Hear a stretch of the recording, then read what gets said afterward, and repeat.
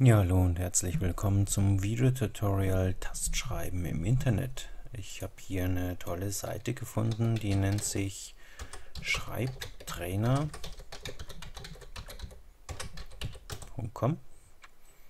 Hier kann man auf äh, den deutschen Schreibtrainer klicken und man muss sich hier nicht mal anmelden. Hier klickt man einfach auf freies Üben und hier habe ich einige Lektionen, die ich hier frei üben kann. Ich kann mir hier was aussuchen. Hier oben sind natürlich erst nur die Grundstellungen und äh, äh, die Buchstaben aufbauend und je weiter man hier fortschreitet, ab hier scharfes SBN hat man dann alle Buchstaben erarbeitet und hier hinten kommen dann die Übungstexte. Hier Lektion 54 sind wahrscheinlich die letzten Buchstaben. Und ich mache jetzt einfach mal einen, einen Abschreibtext auf. Ich klicke hier auf diesen Pfeil und hier geht dann ein entsprechendes Feld auf.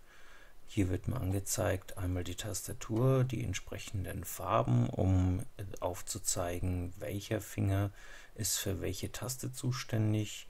Ich habe hier Anschläge oder einen Anschlagszahlzähler, der mir sagt, wie viel habe ich richtig angeschlagen, wie viel falsch, wie viel muss ich noch schreiben, wie viel habe ich schon, äh, die Zeit, die Schreibzeit und wie schnell ich in 10 Minuten bin.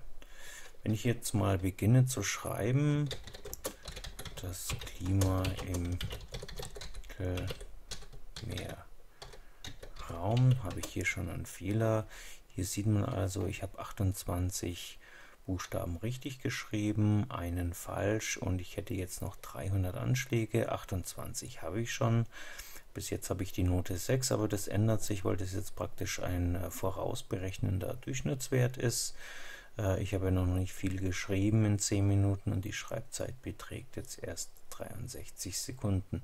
Hier ist immer noch ein Tipp angegeben, du schreibst zu langsam, ich schreibe jetzt auch gar nicht und ähm, finde, dass das eine ganz äh, tolle Seite ist.